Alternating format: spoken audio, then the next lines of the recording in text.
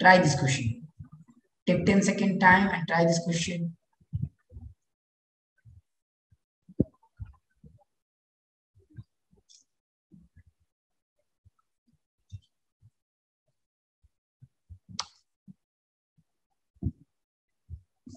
I think uh, all values are given and we know the formulas.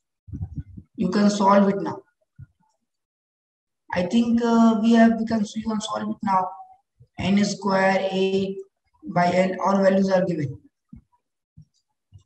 You can solve it now. I think uh, you can solve it now.